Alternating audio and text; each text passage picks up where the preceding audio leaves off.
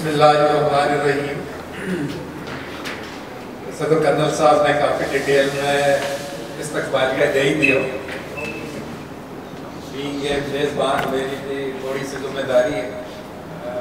मैं अपनी बड़ी खुश नसीबी समझूँ हूँ आज का दिन में कि एक चैम्पियंस की फैमिली और सबसे बड़ी बात ये कि अभी हम जब प्राइम मिनिस्टर साहब से मिलने जा रहा उनका वालिद साहब हमारे साथ ही तशरीफ़ रखे तो हम एक ही गाड़ी में गए उन्हें बताई कि आज की डेट तक भी उनका घर तक जो रास्ता है ना, वो भी ठीक ना है तो इन हालात में कई बच्चा को, बल्कि पूरी फैमिली की एफर्ट्स और कोई कौमी लेवल पे, चाहे वो तालीमी इदारा के लेवल पे, चाहे वो दिफाई इदारा के लेवल पे, चाहे वो एशिया के लेवल पे मैं चाहूँगा कि मैं तह दिल की गहराई को जहाँ या फैमिली को इन खुश आमदेद कह रहा हूँ इस सारी बरदरी को खुश आमदेद कह रहा हूँ इनका वालद के लिए एक दफ़ा स्पेशल था।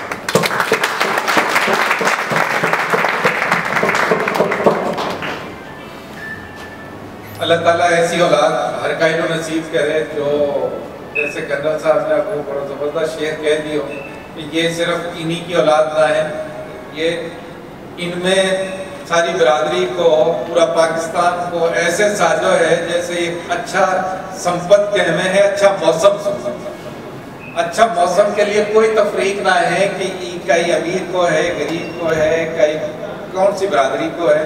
ऐसे ही इनमें सारी कौम को साझो है। अल्लाह ताला इनकी ज़िंदगी में और बदकर डाले।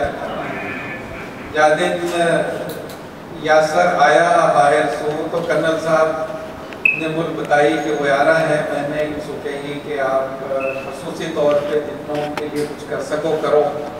और मैं यह मौका पर सईद में हो सईद इकबाल कनाडा वाला को खसूसी शुक्रिया अदा कर करना ना बोलूँ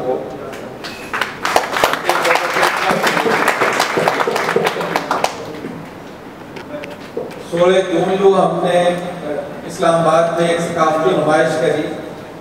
मैं कहूँगा कि मौका ना मिल सका। कि सकाफती नुमाइश के लिए जितनी एफर्ट्स राव गुलाम मोहम्मद साहब ने करी, कर्नल अली साहब ने करी, सरदार अजीमुल्ला साहब ने पूरा तीन दिन लगाया। चौधरी अली मोहम्मद साहब को बेटो इमरान है, सदाए मेो फोरम हाफिज साहब की पूरी टीम और बाकी बरादरी ने क्या दिलचस्पी से ऊपर नुमाइश में हिस्सों लियो मैं मेरी गुजारिश है कि एक दफ़ा इन सारा दोस्तों के लिए मजीद है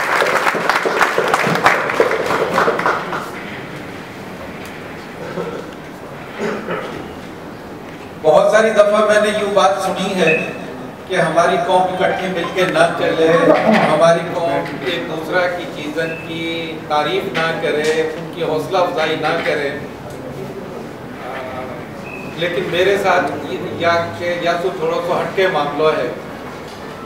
हमारा जितना दोस्त, वे चाहे कई भी महकमा से ताल्लुक़ रखें, सियासत से ताल्लुक़ रखें, पार्टी से ताल्लुक़ रखे हैं वे जब भी हमने वह बुलाया है वह बड़ी मोहब्बत से, बड़ी मोहब्बत से हर वक्त हमारे साथ शामिल हुए हैं। और खसूसी तौर पे उस्मानी साहब ने वह बेओ जो फ़ंक्शन हो, वहाँ में जितनी दिलचस्पी सू आया, मैं इनको बहुत दिल से मशहूर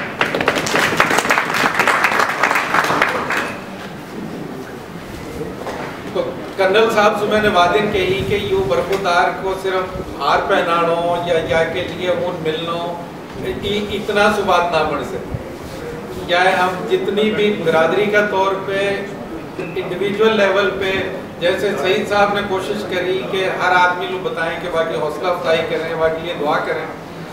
हम, अब हमारा ज़िम्मेदारी है कि हम यह जीते, बेहतर से बेहतर कर सकें, करें। तो मैंने उस्मानी साहब को गुजारिश करी। कर्नल साहब अपना लेवल पे वापदा का लेवल पे, जहाँ ये जॉब कर रहा है, उन भी इन्हें अपनी कोशिश करी। ब्रिगेडियर बाबर साहब अपनी जगह पे अपनी कोशिश कर रहा है अपनी डिटेल बताएगा।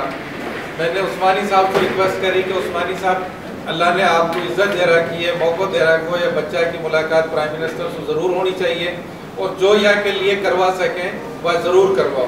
तो इनकी बड़ी मेहरबानी कि इनने बड़ा शॉर्ट स्पैन में एक हफ़्ता का नोटिस में आज मुलाकात भी अरेंज करवाई और उनसे मुलाकात भी करवाई। ई, मैं कहूँ कि हमारी जैसे यासर हमारो बरफुदार हमारो सरमायो है शबीर उस्मानी भी हमारो वासु बड़ो सरमायो है। कि शायद मेवन की तारीख में भी पहली बार है कि हमारी रसाई वज़ीर आज़म हाउस तक वह लेवल पे हो गए कि हम बतावें जाके कि भाई हम मेो ये कौम है हम मुस्लिम लीगी हैं और हमने हमेशा तहारो साथ दियो है तो अब तहारी बारी भी है। कि हमारा साथ एक्नॉलेज करें।